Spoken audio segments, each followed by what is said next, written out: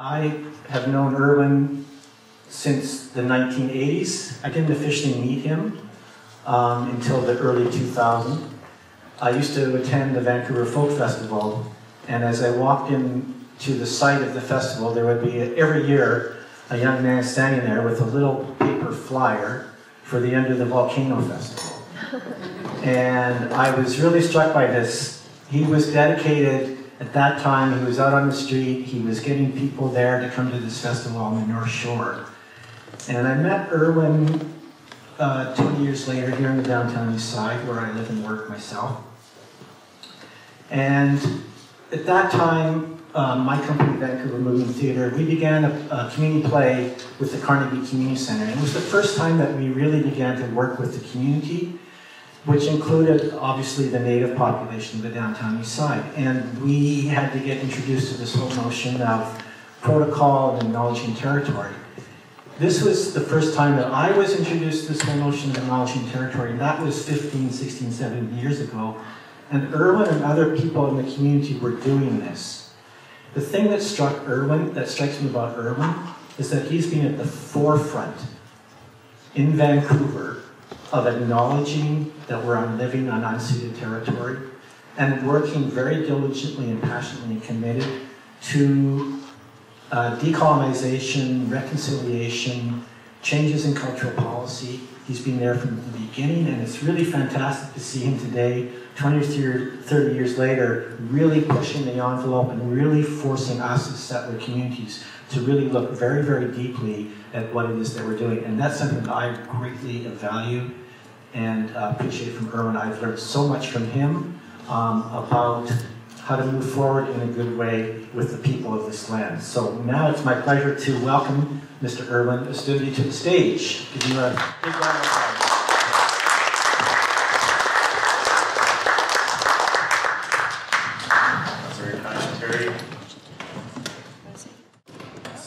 Fun to have your uh, your work reflected back, and um, I, I, hope that we're going to do that today. That we're going to have our work reflected back to us, and uh, I let my colleague know when I, when, when I started coming in and take things personally. This is about, uh, this is a safe space.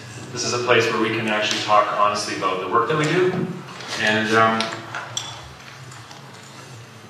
we, have done this, this is the third year in a row that we've done this with the Heart of the City Festival.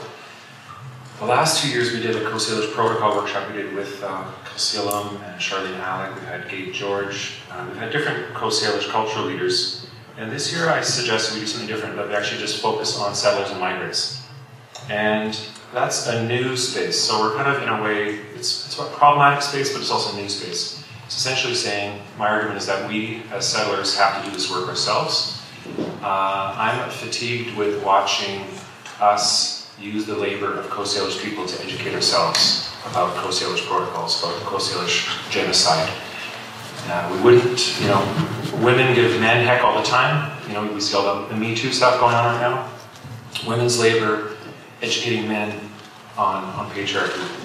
Uh, and so I think that's a fitting parallel. Mm-hmm. We as a settler arts community, we as a migrant arts community, have to start doing this work ourselves. And I'm going to raise the bar on, on, on challenging notions, and I'm going to add another one, which is that Indigenous people who are not from the Coast Salish territory are also migrants. So I use those two words, settlers and migrants. Uh, I also recognize that you know if you're uh, coming here as an economic migrant, you're not necessarily a settler. So words are, are powerful. It's, it's important that we, we take this time to talk about those words. And so through this conversation today, we can uh, introduce some words, explain them, and then we can, we can talk about them. I hope that we leave today having a, a, a bigger consensus and a more um, a sense that you can go out in your community, in your arts organization, and you can have these same conversations. So in a way, this is like a training the trainers.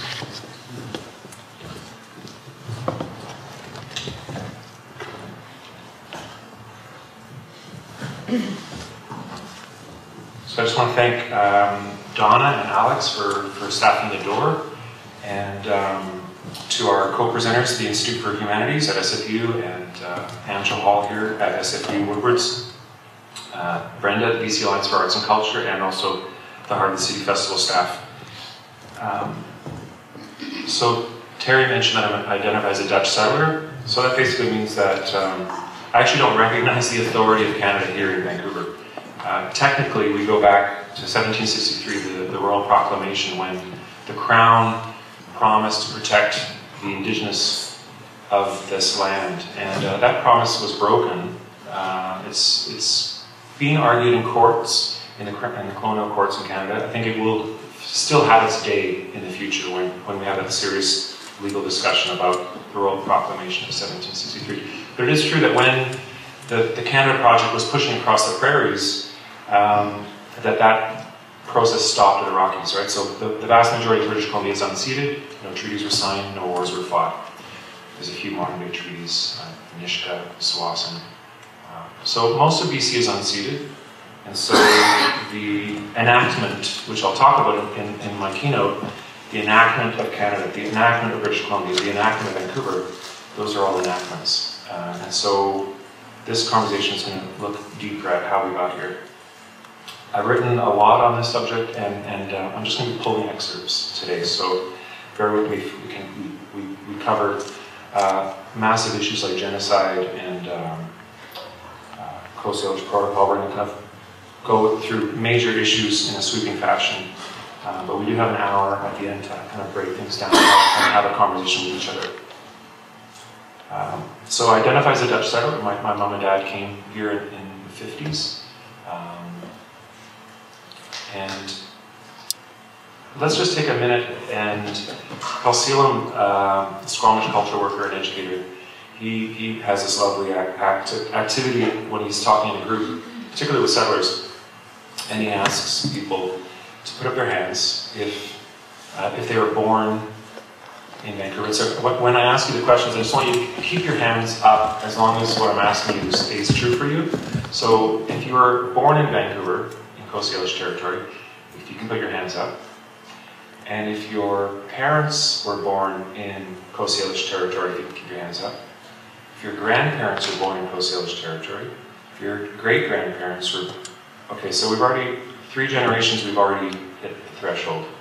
So if you can compare that to any other place in the world, you'll probably be getting different results. I mean, if, if we were in Amsterdam or in, or in Holland, I, you know, probably go 10, 20 generations back for myself uh, that we know of, uh, maybe centuries more. So, you know, that's that's something that um, I feel grief about when I when I acknowledge that, when I realize that, when I think about that. And when Kalseelam told me that he was the only one in the room with his hands still up, out of a big room, you know, that, that puts everything into perspective. So typically what we also do with these events and events probably, we do this liberal custom of making territorial acknowledgements. And I, and I was talking with Gabe, Gabriel George, uh, the cultural manager at Tsleil-Waututh, you know, he knew about this event. I said, you know, uh, you're welcome to come, but, you know, really I'm going to do, play the trickster on this territorial acknowledgement thing, as I've, as I've done in the past. and um, we did uh, an event last year, uh, and that's the video on YouTube I think uh, we've had more than a thousand views of it. It's a great educational tool if you want to learn about making Coast Salish territorial acknowledgements matter. Check that video out. Um, I argue that we shouldn't do them. So it doesn't mean I'm post-colonial. It means um, that I think the liberal custom of making acknowledgements is actually an obfuscation tool. It's to relieve our, our typically white guilt or, or settler guilt. Um, you know, who are we thanking? And what is the basis of that appreciation? What is the relationship? What is the contract? Um, you know, are we thanking the Musqueam for not chasing us out of here? Because that's what they did to Simon Fraser when he came down the river that would later named after him. You know, they chased him back to uh, the, the, the, canyon that would be named after him. I'm trying to not say that he named it as a canyon. And then, and then and then we went back to, to Fort George. So, what who are we and what are we thanking? Uh, I've argued for some time that we shouldn't be doing these hollow gestures. I think that instead we should take 30 seconds or two minutes and have awkward silence, or we should have an awkward conversation about the fact that our organizations don't actually have a relationship with Coast Salish people. That many of our organizations have no staff, have no volunteers, have no uh, board members that are Coast Salish. Uh, we have no protocol agreement with Coast Salish governments or Coast Salish arts organizations. So I'd rather have that conversation at the beginning of our meeting. you're in a union hall, you're in a schoolroom, you're in a public event, talk about the absence or the, the growth of the work that you do with Coast Salish people.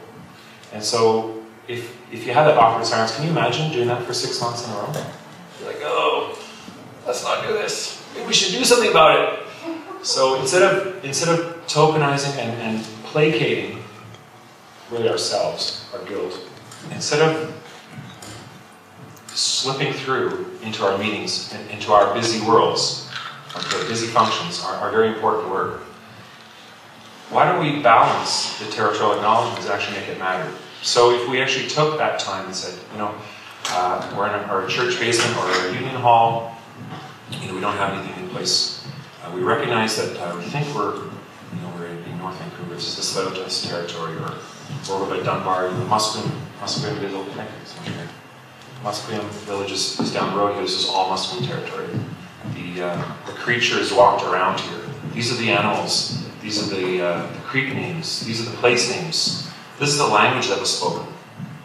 So offer that information for a minute or two. The community would learn more from that in a minute or two, and then a month later or a week later at your next event, take it to another level. If we did that for three or six months, come time for our budget planning for next year, we'd be like, you know, why don't we prioritize putting something into our budget? Maybe we can commission a, a Coast Salish artist. Maybe we can, you know, so what I'm saying is make territorial acknowledgements matter. So that was our territorial acknowledgement for today. Mm-hmm. The other thing about labor, if, if, you know, we, uh, we ask, I've, I've, I've, had the privilege of working with the Tsleil-Waututh and I would often get incoming emails from associates, non-Indigenous associates saying, oh, you know, how do I get in hold of so-and-so? How do I get in hold of so-and-so? Well, even thinking to myself, why, why should this Coast Salish person take time out of their family time, out of their work time, out of their community work time to go to your event? I mean, what is it that your event has to offer, A, this person, or this Tsleil-Waututh, or this, this Cohomish, or the Musqueam? Like, what is it? I mean, if you're doing an annual festival and it's uh, the folk festival, we could talk about that project in, in a case study, but uh, if, if, it was the folk festival, you know, you've got 25,000 people, or Khatsahlano Festival, the bizarre name Khatsahlano Festival, is the whitest festival in Vancouver. Uh, almost exclusively white male bands play that festival. Um, the Donald Group and Brand Alive do that. So Khatsahlano, the Squamish person comes in early in the morning when no one's there, does, a, does an acknowledgement of the territory welcoming, and then the crowds come. Right? So who's that for? Kalseelam suggests that we should barter power. We should consider these issues of power. We should think about why is this important to the Tsleil-Waututh? Why is it important to the Musqueam? Is it because there's 20,000 people here? That's important for the indigenous people from the land here to have that presence and have that access to those that community. That's an important opportunity for that coastal community or that government or that arts group. But if you're a small theater company in East Van and you've got 70 people in the audience, what why do you need to take time from that, from that person? So that's just inventory I think we should, we should consider. So Donna suggested I, I should explain what redress means because I, I've identified as redress activist for a long time. Um, I appreciate Terry's story because it kind of uh, uh, reminded me. Um, I remember when the, uh, the Alliance for Arts and Culture would have a, a, printed directory of members. I'm dating myself now. So we'd have this printed membership guide of the, the Alliance, and it'd be all the addresses. And I wrote, this is 1993 or 1994, I wrote a letter. I wrote a letter to all the artistic and executive directors of all the Alliance members in Metro Vancouver. I, I can't remember, Brenda, how many, maybe 100, 125 members back then? Probably around that time, yeah. So I wrote them all saying, we as arts organizations in Vancouver, we should be doing something with the Coast Salish people. We should be doing projects, we should be doing, you know, please consider this. Right.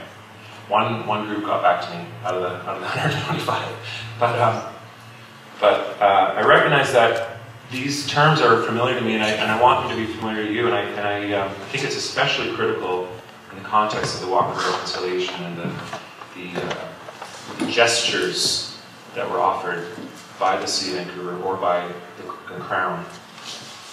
The gestures towards reconciliation, that we need to reframe those and we need to talk about redress. And I'll talk about that later, but I just want you to make sure that this is what we're talking about.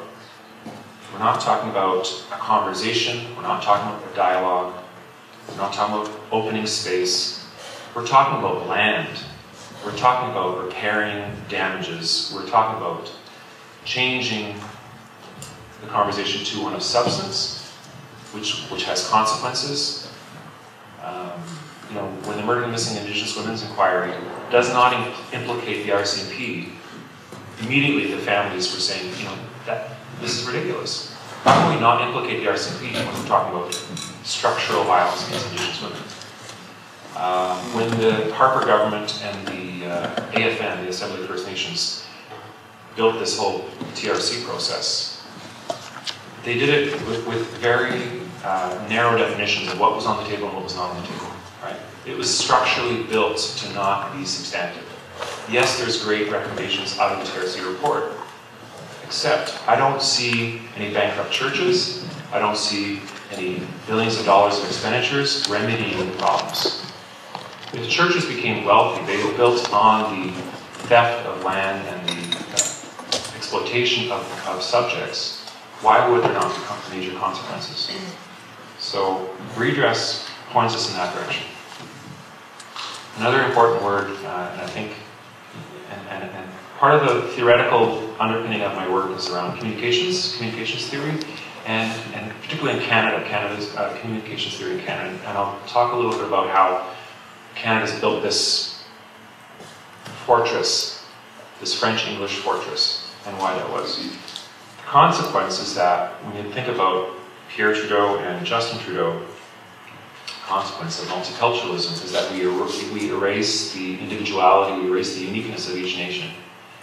We're just going to lump all the indigenous as, as together, as if they're like Greek Canadians, there's the indigenous Canadians, there's the uh, Dutch Canadians, there's the Brazilian Canadians. All right, that's a falsehood. In particular when we're dealing with unceded lands here in Vancouver. So it's important that we avoid pan-nativism. It's, uh, it's, it's it's, it's, toxic to the conversation because it essentially takes us away from the important work of nationhood building. The, uh, the opportunity for Coast Salish people to self-determine, to, to, plan their own future on their terms. As long as Justin Trudeau is saying, and a reconciliation effort is saying, let's build a, a constituency of Indigenous Canadians, we're, we're shortchanging the prospect for, for Coast Salish nationhood. And finally, uh, Salish Protocol, fundamental, um, and that's just a, a, screenshot from our talk we did two years ago with Heart City Festival. Um, any, anyone want to offer their, their, their, term, their definition? So guidelines, rubric, process for negotiations for agreements. So when a, when a Haida is on Coast Salish territory, the Haida knows the proper protocols, the proper agreements, proper uh, negotiations for acknowledging and for asking for, for permission to be here. Um, it's to navigate the, the hierarchical structure, the community structure. So protocols are, are, we're surrounded by protocols. Our lives, we're trained in protocols. And so we have protocols in our relationships, we have protocols in our parenting, we have protocols all over the place. So Coast Salish protocols is about our relationship to Coast peoples, to, to their land and waters. All right, so I'm going to um, pick it up a notch. So Coast Salish people have unceded, have occupied their unceded lands and waters since time immemorial, yet colonial governments mark centennial and sesquicentennial dates of incorporation with elaborate hoaxes of pageantry. These events sometimes include the Coast themselves. Noteworthy is the fact that such participation is almost always initiated by the colonial governments. And I suggest this is a means of normalizing crown occupation of lands and resources. These celebrations emphasize the modernist Canadian tradition of multiculturalism and rely on the public's collusion as participants in order to entrench our cultural entitlement. Similarly, historical apologies and Indigenous reconciliation initiatives or selective past wrongs are also instruments to perpetuate the colonial Canadian state and advance a program of assimilation and cultural erasure.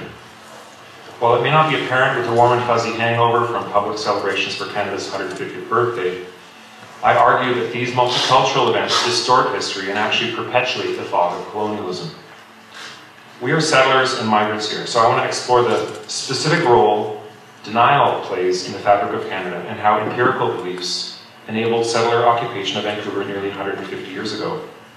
I'll try to set forth in my talk the role of pan-nativism and liberal multiculturalism in dominant settler cultural policy, both of which promote Coast Salish cultural erasure and obfuscate opportunities for moving towards redress. In direct conflict with Coast Salish nationhood ambitions, dominant settler culture positions diverse Indigenous cultures as cultural tourism commodities to enact a notion that an Indigenous Canada exists. There's a consequence to this bipolar relationship to Coast Salish culture by colonial governments, cultural funders, and mainstream cultural institutions. Coast Salish culture and artists are structurally underfunded. I'll give you some statistics on that later. Uh, Coast Salish artists and cultural institutions lack infrastructure. They lack development plans and, and are generally ignored by colonial governments and, cult- and cultural institutions until these same cultures are used to raise big budgets for marquee events and charades of inclusivity. The premise that all who live within Canada's borders can share equally in its riches is in conflict with real reconciliation and requires silent adherence to Canada's white supremacist roots. I'm happy to talk about that in, in, in the conversation about the use of that term, white supremacy. Throughout Canada in 2017, tightly scripted birthday celebrations were held to inculcate colonialism through highly choreographed displays of public unity, fueled by almost a half billion dollars for reconciliation-themed programs. The boundaries of Indigenous participants' sovereignty and their participation with the Crown is more blurred now than ever. An important note here, you know, when I talk about Coast Salish art, cultural production, uh, by no means do I have any intent to shame participants. My, my comrade artists, Coast Salish artists who are, who are um, struggling with scarcity of resources, it's important that they access funding opportunities, presentation opportunities, opportunities to be on stage, to meet new audiences. So the focus today for me is on settler and migrant cultural planners. It's on myself, it's on, our, on my colleagues, the policymakers, the arts workers. So let's go back before the Indian Act, and, Lee Maracle uh, told me in the conversation really, really to frame things as much as possible in that reality. So, you know, we're talking about 13,000 years of continued Coast Salish occupation here of these lands since the Ice Age, the last Ice Age. She says, just focus on pre-Indian Act. So a network of families, villages, and clans has existed here since that Ice Age left. The vibrant population of Coast Salish spoke Halkominum, uh, and they coexisted with a rich biodiversity. We've often heard, especially the Kinder Morgan fight, when the, when the tide went out, the table was set. Often spoken by Coast Salish elders. Uh, to 90% of the Coast Salish diet was seafood. Some 50 to 100,000 lived around the Strait of Georgia and up the Fraser River to the limit of Coast Salish territory. Smallpox first reached the Strait of Georgia in 1782 with devastating effects, with more smallpox epidemics by 1850, killing up to 90% of the Coast Salish. Let me say that while I've written a great deal about this issue of genocide and, and settler denial, for this conversation we're going to try to focus on stating that the cultural amnesia of settler Vancouverites is alarming. We, we, could just unpack that for a few hours. Just talk about the fact that we don't talk about genocide. I was just mentioning the other day, was that the, the Madre, Madres de, los Plazas de Mayo? Is that it? So, you know, why why don't we, why don't we all just leave right now and go aside? Why, why don't we, why don't we have witnesses to the genocide. Why don't we, as a community, talk about the genocide? You why don't we go to some problematic events with, with black outfits and, and white letters or something and just acknowledge that there was a genocide here? And that in addition to the genocide, the culture, the policies of criminalization, uh, the BC Pen, Indigenous Coast Salish culture workers were put in BC Pen 75 years ago. Right? So why don't we acknowledge that? Well, partly we just kind of answer that when, when only one person had their hand up, when, and that was they had three three generations of experience here. Right? Maybe that's something to do with it. But I'll also bring in some subjects around amnesia, how amnesia works and how denial works. Knowledge and memory of the legacy of Coast Salish culture was also damaged due to distra distraction of early settlers' research, uh, kind of excite excitement of, of, Northwest Coast design. Um, we, we, saw that, you know, the, the, village was removed from Stanley Park and, and in came some Northwest Coast totem poles. Um, so largely abandoning Coast Salish history to small fragments of recorded memory. Ironically, Coast Salish culture would survive due to its criminalization by going underground. Quoting from the resettlement of British Columbia, speculations proliferated, boosters filled the air, most natives lived on reserves as wards of the state, segregated from the mainstream of white society. To all intents and purposes, they become invisible, an immigrant, racist white society was not interested in such pasts. Newly occupied suburbs of Vancouver had their forests clear-cut for newly, construct, newly, constructed sawmills. I, I, I, do a talk, a different talk, and, and, I have a slide of North Vancouver in 1893. It's, it's year one of North Vancouver. It's like, look, look at the beautiful devastation. It's just a horrible clear-cut photo. And that's, that's year one of North Vancouver. I'm like, that's what we celebrate when we're celebrating North Vancouver's 100 and, what is it, 130 years now? So what are we, what do we memorialize when we look back at our arrival here? Uh, even North Vancouver, near Whey-ah-Wichen, Cates Park, where the Volcano Festival took place, uh, 1949, sign saying you had to have $2,000, non-Asian, that's who was allowed to buy the properties. Mm. You know, so was that 65 years ago?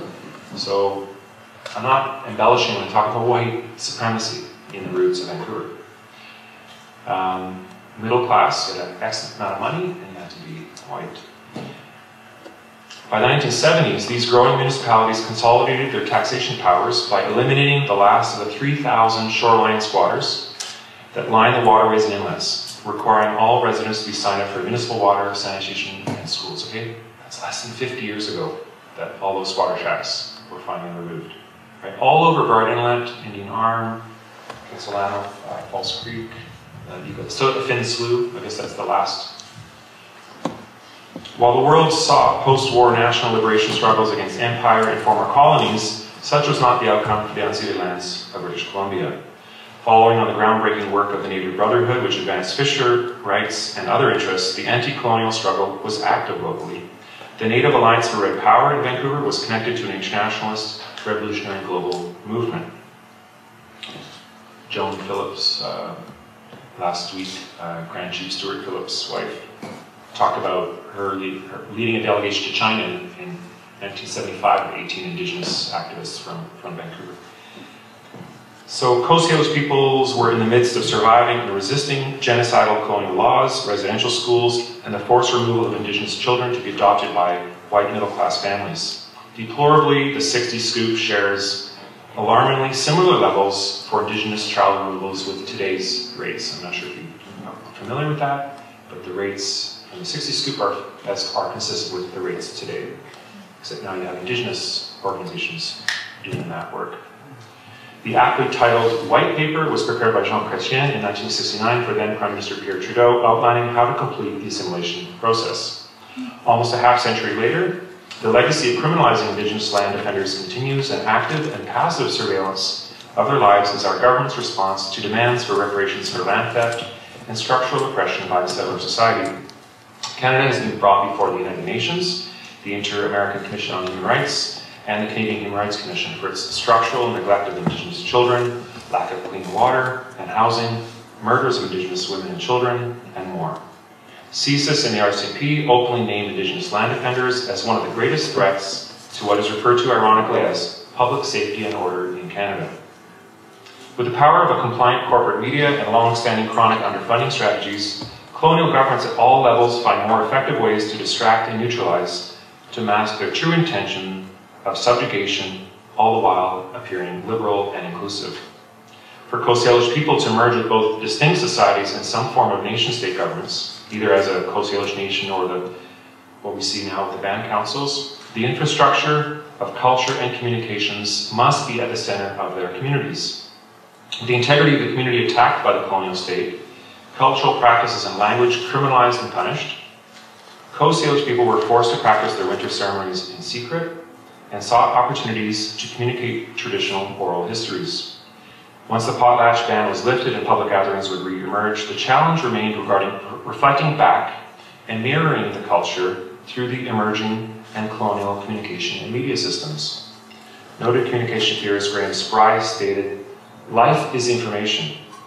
When defining communi communities existing intact only as far as transmissions could reach them. While he was a booster for a bilingual federalist Canadian culture and identity, emerging in opposition to US dominance from the South, Spry's theories, theories also hold sway for the colonized Coast Salish in that social disintegration and isolation results if communication infrastructure is not present. Notably for Spry, the terms culture, community, and society could be used interchangeably. Spry defines society as a people in communication. A society, a community, a nation, like any organism, is a function of a network. Society is organized, integrated, and made responsive by information. For Spry and many other noted European Canadian intellectuals of the 20th century, linguistic and cultural autonomy for Indigenous nations was secondary to maintaining the borders of colonial Canada intact against the US cultural and political hegemony. A political nation, Spry explained, is a moral and political being wherein different races are embraced with a single state. He saw the colonial, colonial Canada project as two languages and cultures peaceably, peacefully mastering, without bloodshed or hatred, a territory as great as the whole of Europe. Federal and provincial governments saw distinct Indigenous languages as relics of pre-contact, and the city of Vancouver, too, would ignore the languages of the Coast Salish, which for millennia were embedded in daily rituals of living on the very land of this new city. Cantonese and Toisan, uh, spoken by the Chinese settlers, would also be structurally marginalized by the settler ruling class.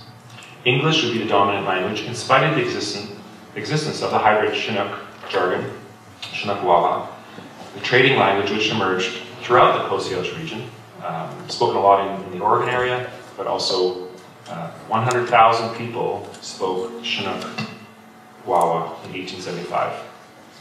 And it was used widely in court testimonies and in newspapers. 1875, so 100,000 people spoke Chinook. The city of Vancouver and its suburbs would dominate space through place naming, using the British, British Crown's rituals of recognizing upper class military and men of commerce. Most of these names still adorn the streets, neighborhoods and public parks of the region as if the land was terra nullius. Remember that whole baggage we're carrying? Um, empty land waiting to be used. Despite all the talk of reconciliation, names such as Dunsmuir, people know Dunsmuir's troubled past. Anyone want to offer it? Mining, mining baron who uh, killed workers and brutal man. So just one of the obvious targets for renaming. Uh, Stanley Park, um, what was it, just five years ago? Uh, Stockwell Day said, no way, no way. It's too precious, too precious. These names are deemed too central to the history of this place to be reverted to original place names. This reluctance is telling of the denial and the entitlement of the white supremacist culture still reflected in Vancouver's roots. With youthful Vancouver, it is more often than not that residents comply by identifying with a purported common history that is only mere decades old. Individual settlers who have lived here for longer than a few years or decades are a small minority, as we just witnessed. Denying, race, denying racism is, is, an intrinsic flavor of multiculturalism, and with British Columbia politeness and Canadian niceness. There is no end to the charade of Canadians simply getting along. Cohen describes how self-identified liberals and the, up, and the urban middle class turn inwards and disavow the political. They experience a cognitive retreat to avoid being upset by exposure to disturbing news. While they purportedly subscribe to universal liberal values, they're also reluctant to get involved or be outspoken. If perpetuated, this can create a pathological alienation from the self and from society, or reaction formation in the form of exaggerated defensiveness or simulated blindness to what is happening. Former Czech President Václav Havel, the poet, positions an individual's evasive thinking as an outcome of living amongst state cultural denial. In Vancouver, colonial branding foists an imaginative, collective past onto a promise of tomorrow through public and state incentives, uh, initiatives, including Greenest City, Aboriginal Cultural Tourism Destination of 2017, World Expo 86, 2010 Olympics, Paralympics, and Canada 150 plus. These serve to repress possibilities for dissenting narratives with a kind of occult power to transform one reality into another, into another uh, to quote Havel. Whiteness is in a continual state of being dressed and undressed, of marking and cloaking. Dr. Israel Charny, a psychologist and a genocide scholar, has laid out a list of state-organized denial templates for the negation of a known genocide. These include distancing the event in time. It all happened so long ago. There's a new generation of the perpetrator people today. Why not let the wounds heal? Charny also suggests moving from the facts of the genocide to some kind of relativist comparison that mitigates the horrors of these events. In this way, the residential school system and its superficial TRC become the sites of discussion, and the entire apartheid style reservation system and genocidal policies are bypassed. Our leaders routinely, routinely declare Canada has no history of colonialism. The Governor General just did that uh, just four months ago. Uh, Stephen Harper stated it in 2009 while speaking to G20 in Toronto, and Justin Trudeau in New York uh, a year and a half ago. He was talking about Canada's participation in the international arena. Quote, without some of the baggage that so many other Western countries have, either colonial pasts or perceptions of American imperialism. Quote, Justin Trudeau.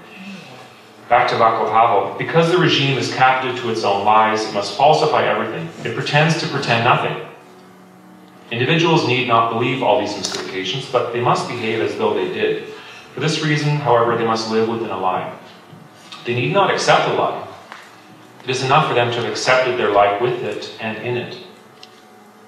Claire Moon writes that post-atrocity memorialization can invoke a range of familiar cliches, coming to terms with, closing the door on the past, turning the page, closing a chapter of history, all familiar refrains used by the dominant parties urging an expedient and narrow process for Canada's Truth and Reconciliation Commission work. I produce a radio show Tuesdays at Tuesday afternoons, 5 p.m., uh, called Democracy North, and I interviewed Pam Palmater, and this is just a, a bit of uh, my conversation with Pam, uh, one of the people I, I, really look up to for leadership on this. Um, reconciliation is fluff. It is also becoming an industry. I've noticed that businesses are now including reconciliation as if it is a five-star gold rating. There's a lot of people out there peddling themselves as reconciliation consultants, and I find that incredibly disturbing because real reconciliation is about the return of land and recognition of jurisdiction and our access to the resources and fundamentally changing all the wrongs that have happened. Aboriginal treaty rights or land rights is not even on the table for the Trudeau government. All we are now, right now, is fluffy advertising for reconciliation. Many Canadians are going to be duped, and we haven't even started the reconciliation process reclamation, redress, something more than merely apologies and meetings. So even with the refreshing increased profile of Indigenous issues in dominant culture, largely results of the Idle No More movement, decades of hard-fought efforts by Indigenous peoples, this only represents a minor thawing in the deep freeze of denial that bypasses the primary issue, that which is colonialism and the roots of Canada. Liberal and humanist reconciliation efforts divorced from indigenous nation movements degrade the conditions for genuine reconciliation and redress. That's the, that's the alarm here. While there were many heartwarming stories this year, including ones that we saw last week about Gordon Downie, the of hip, there were other stories some saw as indications that this country has a long wait before reconciliation truly becomes a reality. In a drama straight out of The Wizard of Oz, remember the scene with Toto and the curtain? The curtain. Uh, mainstream reconciliation efforts and celebration of colonial birthdays play the role of the curtain pulled away by Dorothy's dog Toto, a four-legged creature with only minimal intellect for political discussions. Don't pay any attention to the man behind the curtain. So I'm going to replace Toto with Taiaiake Alfred, Indigenous scholar.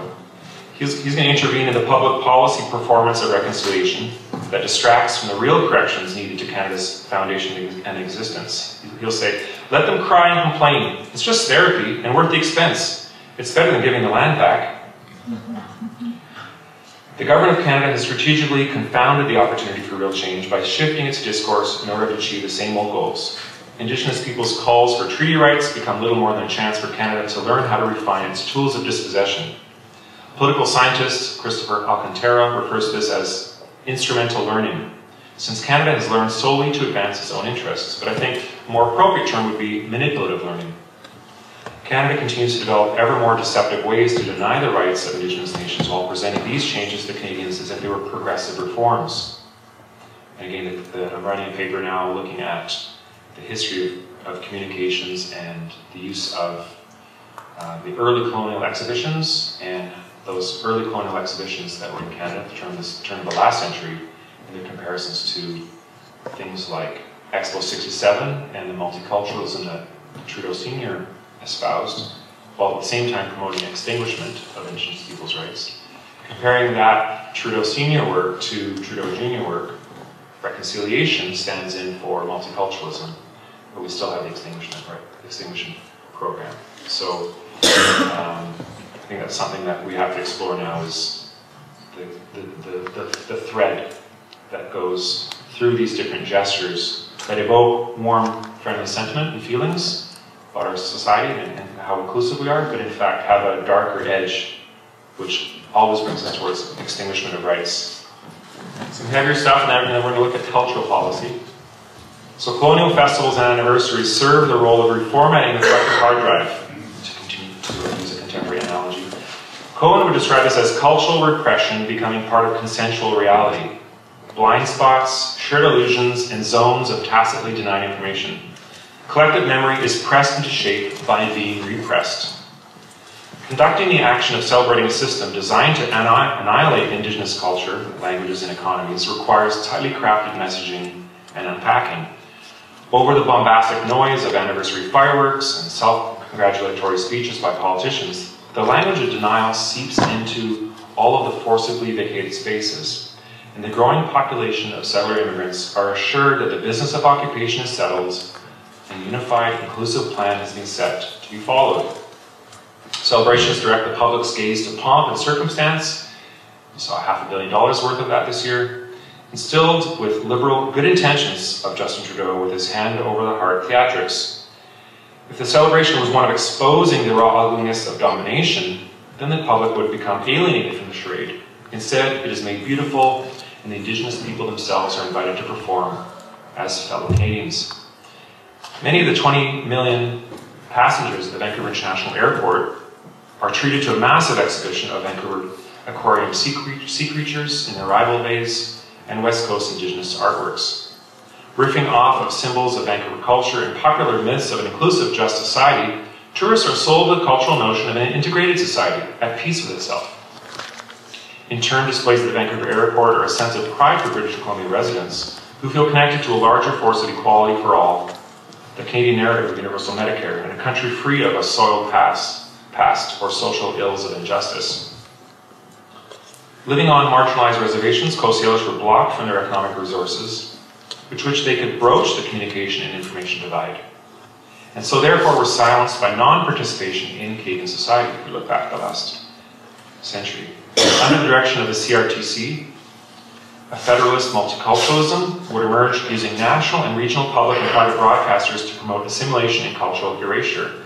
Federal policies were advanced by early Canadian communication scholars who feared the threat of US cultural hegemony. Until decades later, with the establishment of Indigenous media options via community access cable, community radio, or eventually the APTN, Coast Salish had no option to have their culture reflected back to them. Still today, confronted by hurdles of accessing media production resources and without economies of scale, Coast Salish continue to be more likely to access Cree or Anishinaabe or Dene or Métis cultural content over their own Coast Salish realities. Just note they knew new radio station, the new Indigenous station, opening up shop in Vancouver is Nisga'a. Broadcasting next year, it'll be the first Indigenous broadcaster in Vancouver. Huge Nisga'a population in Vancouver, but again, they won't be so Salish. Um, Hollywood and mainstream Canadian culture was pushed through the radio and TV systems into the Indigenous homes on and off reserves. Ironically, the biggest Hollywood native star being from here, Chief Dan George of the Tsleil-Waututh. So when Salish truism is not reflected back to its people, then erasure is fast-tracked. Media, arts, and culture are, of course, critical areas of developing and supporting delivery of distinct culture. However, language is the other key element of Indigenous peoples' culture, and it was systemat systematically attacked through the assimilated infrastructure of Canada.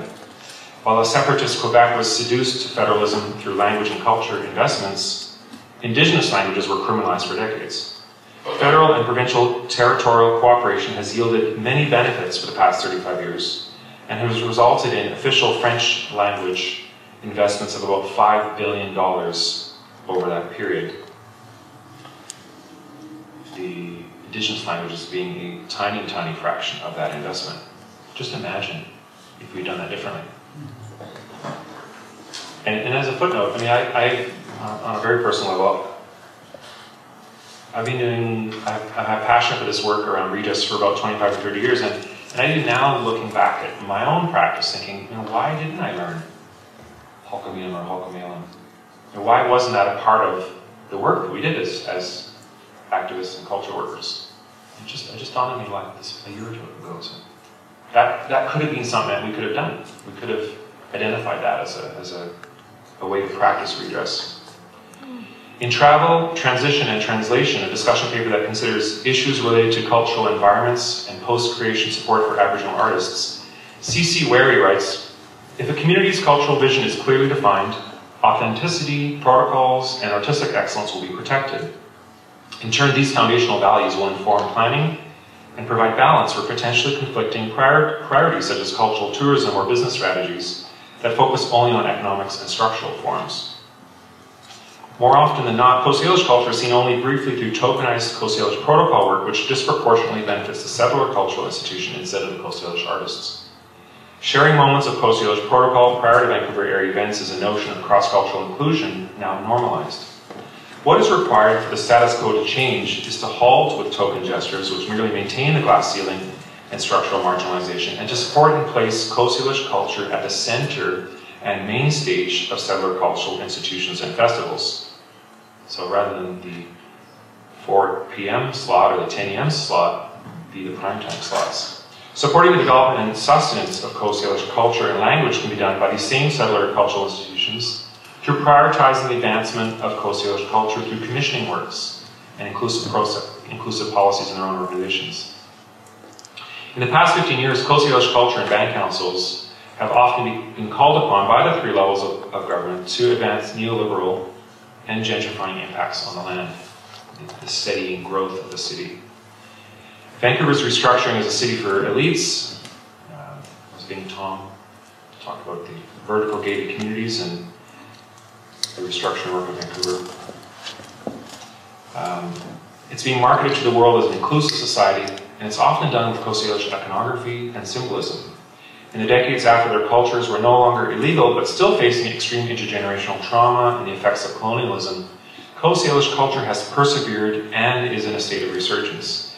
This has been done through grounding culture to ancient spiritual traditions, as well as a result of strategic investments by settler governments, recognizing shrewdly that Coast Salish government's cooperation on regional economic megaprojects was necessary in order to avoid lengthy legal battles and title fights. The most prominent project on this front was the Four Host First Nations secretary that we saw for the 2010 Olympics and Paralympic Games. That was, a, that was an, uh, an instrument to deliver the endorsement of those nations. The Canadian State and Olympics corporate partners received a concrete benefit by not having the Games bid boycotted prior to the Games. and subsequently not awarded to Canada. The participating First Nations governments were Squamish and Lilloit, and later were joined by Tsleil-Waututh and Musqueam.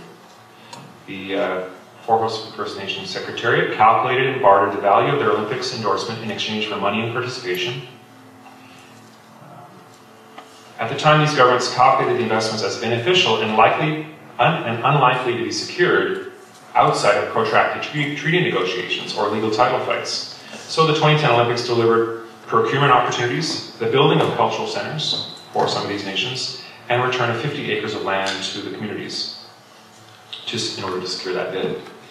The question of unceded land title was never on the table, and unfettered rights was equally kept away from the settler population. In telling the story of revising historical truths, as CEO of the first Four Host First Nations, Tewanee Joseph describes uh, to a TEDx audience how he, quote, spearheaded the largest rebrand of Aboriginal people in Canadian history. In Joseph's eyes, the 2010 project brought substantial financial and cultural benefits to First Nations across Canada and advanced their place in Canadian society. So if we fast forward from the Olympic bid of 2002 to 2004, Recall with Am Johal here, who's host, one of the hosts tonight uh, today. Uh, Am and I both sat on the uh, Intercity Olympics committee uh, that was identifying processes where the inner city would receive some benefits and mitigate impacts. Um, and I just ran into the uh, communications engagement expert for Kinder Morgan, and she was the person for the bid on the other side of the table, um, managing for the, um, the intercity impacts agreement. So I found that interesting.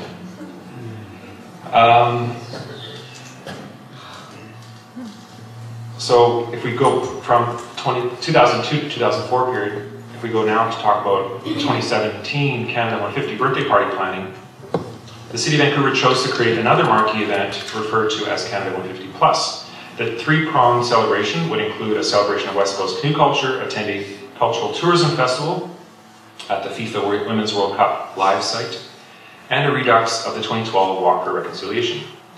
Their first Indigenous contractor was Tewanee Joseph, who uh, was contracted to direct, them with protocol and planning, so inheriting that legacy from the Olympics. With just months to go, the three local First Nation councils each selected a liaison to the Canada 150 planning exercise. I think it was just weeks for, for two of them.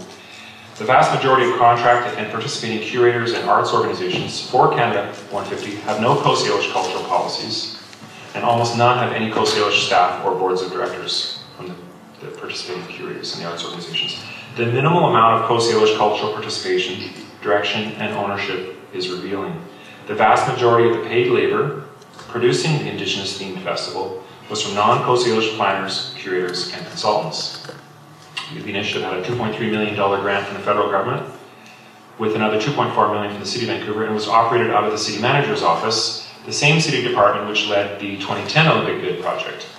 Rather than be managed through a transparent cultural services cultural funding system with peer assessment or push a call for Coast Salish artists, the City Manager's office seconded senior cultural services staff and contracted production to Brand Live, a high-profile corporate events company which had Squamish Music Festival in Khatsahlano, and now just announced a new one, Post-Colonial Festival at Stanley Park.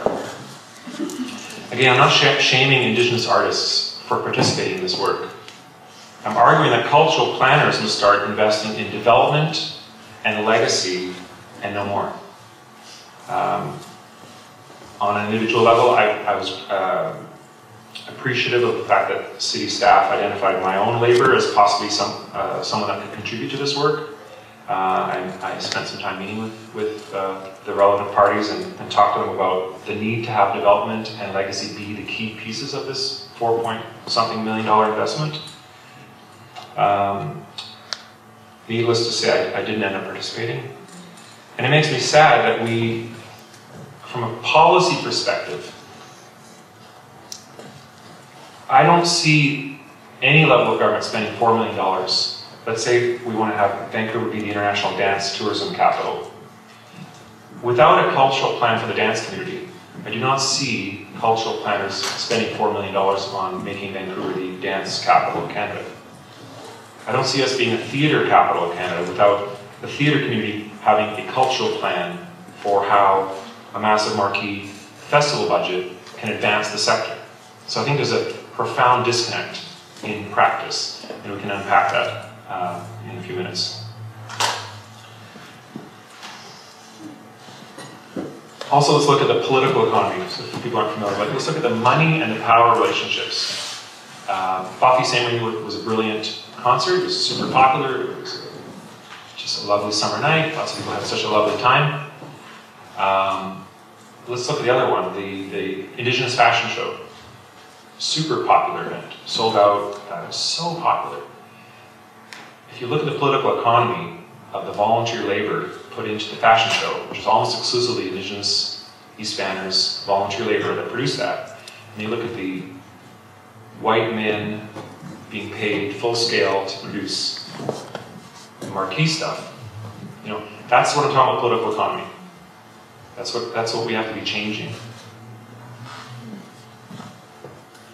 And I appreciate that I, I argued for um, hiring. I argued that we should hire eight or ten Coast Salish young people to, to be trained through this process. I recognize that one or two Coast Salish youth were hired. Um, but there would have been many other opportunities if we just focused on using that festival as an opportunity to do development and legacy. And I think over, um, I, I, appreciate that Margaret Specht, who, who helped spearhead that work, and there's a lot of beautiful work in that project. Um, she's offered to share with me data so I can do some more analysis around that and, and, share that back to the city staff and say, you know, this is a different way of interpreting that data in terms of the political economy in particular.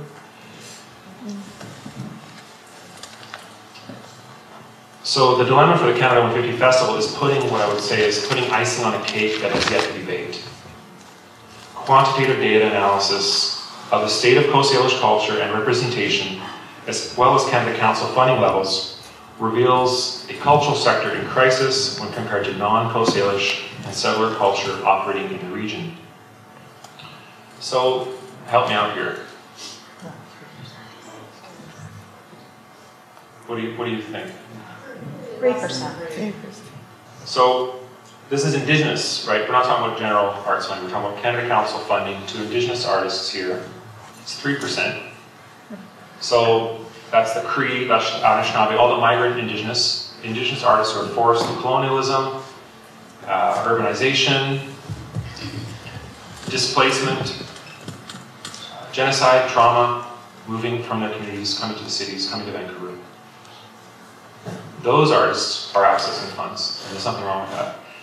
But it's shocking that in 2017, the Canada Council and other funding bodies haven't figured out the protocol work and place-based place-based strategy to change this domination of local culture. So let's look at it even deeper how much of Canada Council funding goes to all artists, all cultural groups in Vancouver, in Metro Vancouver? How many, how much of that funding is going to Salish? I think you know where I'm going with this.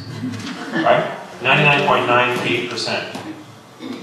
So just tell me how one can do place-based cultural development with those odds stacked up against us. And what makes me so sad, which is why I gave you that long preamble about how we got here, that's why we got here. Because there's competing interests. Multiculturalism, federalism, versus Coast Salish nationhood, Coast Salish cultural production. And how and when those are used. So I've given you these examples, these extraordinary examples. And Duncan Lowe, I want to thank Duncan Lowe for, for this data um, great cultural funding researcher. So I've taken Duncan's data and applied an indigenous lens to it.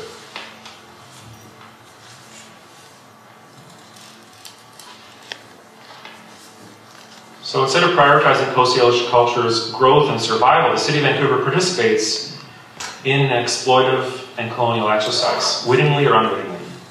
The city and Canada benefit from the absence of cultural objectives and work plans, which could be set out by the Coast Salish cultural sector.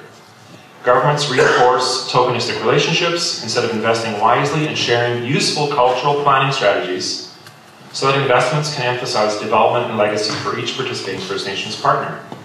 By using the absence of cultural infrastructure by the First Nations, the city reinforces a paternalistic and infantilized relationship which is led by brokers and gatekeepers. Many well-intentioned but nonetheless with an almost complete absence of Coast Salish leadership and accountability. Instead of what should be done is we should be investing in multi-year redress cultural funding to address the massive gaps in Coast Salish participation in the regional cultural sector. The city instead chose the route of a melting pot of multiculturalism and pan-native identity politics in direct competition with the nascent Coast nationhood movement. Confronting pan-native arts definitions Charlotte Townsend-Gault observes, what is the point of perpetuating a category called native art? When the work is irreconcilably diverse, the category restrictive or discriminatory. It is not an art category at all, but the outcome of a socio-political situation constituted by devastating history by the shifting demographics of the non-native population in a pluralistic society. And what about the major cultural institutions?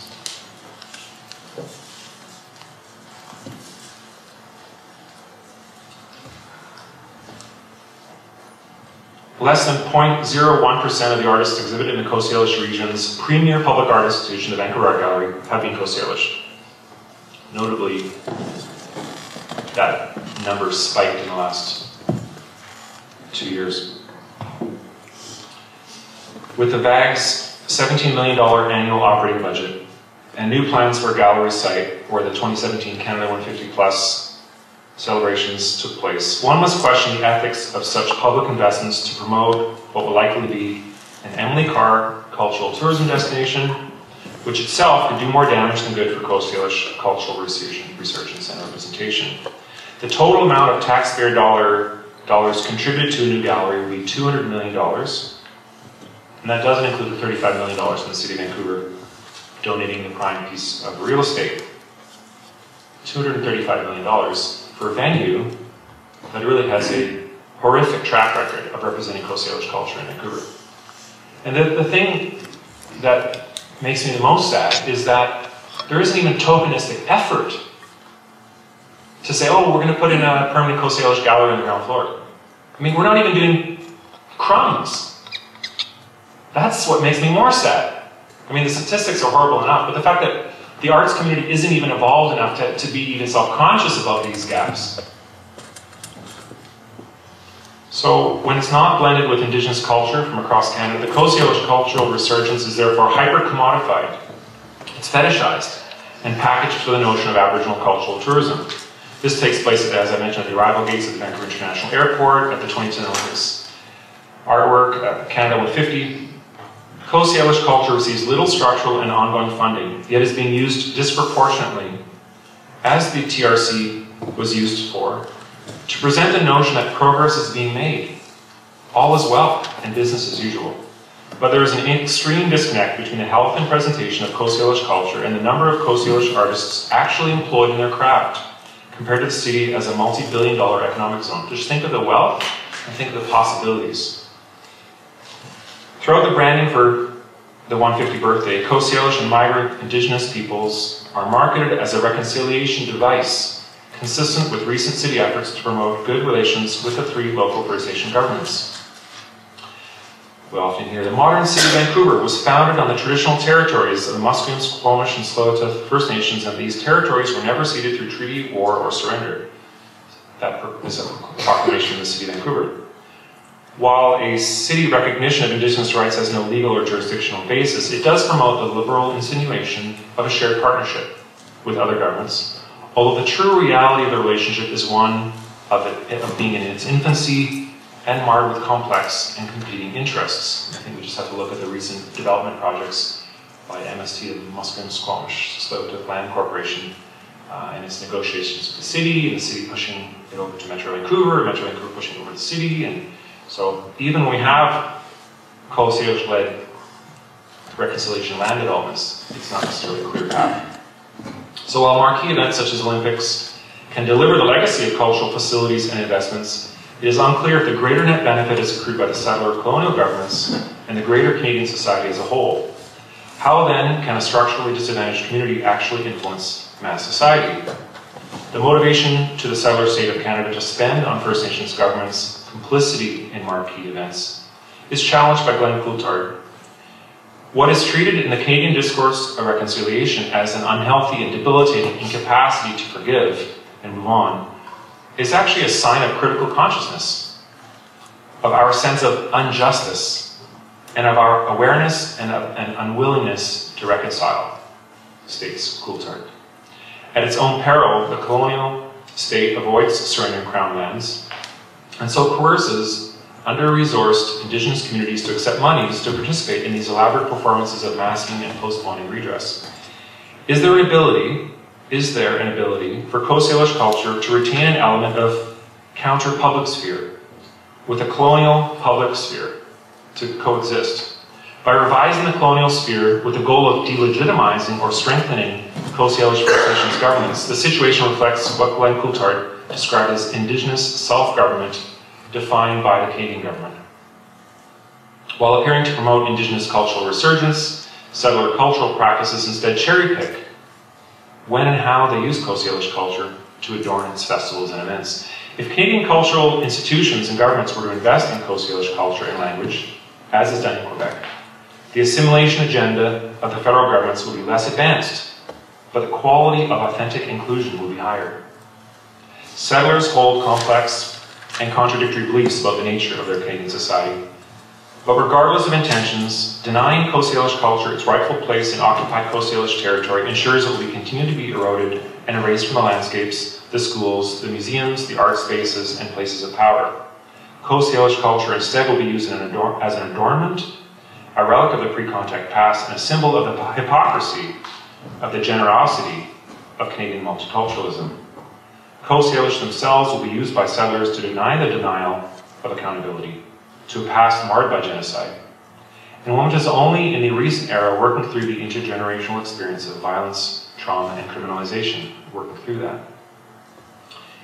In conclusion, until landmarks are returned to the rightful Coast Salish placings and settler society moves beyond the liberal instrument of territorial acknowledgements, and colonial governments work for genuine reconciliation and redress, and the Coast Salish are held up by dominant culture as the legitimate cultural heroes of their unceded lands and waters. This place shall be merely the forever colonial Wild West. All right, so that wraps up my excerpting of these. Uh, one's a, a, chapter in a book that will be coming out this winter, um, published through the University of Manitoba, and um, a paper that will be out at the Robarts Center in, in, at York. Studies, Canadian Studies. We have a microphone, and um, I think we're going to have some, lights will go up a bit, and this is our chance to spend half an hour or 45 minutes just asking questions. Um, but I have a question for you also, and that is really about what we, the homework, what we can take away, and how we can integrate this within our own organizations. So what I attempted to do is uh, not overwhelm you with sadness or pessimism, but to set a foundation to understand the gravity of the situation. And so that we can start to work as allies and as accomplices, specifically, to use Cleve and term. We can be accomplices with Coast Salish people in that resurgence. And so it's not about doing the work for Coast Salish people, don't get me wrong. It's about getting out of the way and bringing an, an, an equity and a justice as we get out of the way. Uh, there's, there's lessons for cultural funding policy. There's also lessons for neighborhood planning in your own neighborhoods, in your churches, in your unions, in your, in your arts organizations. So um, the, the real question I hope we can come away with is how can we bring this into our own groups, into our own lives?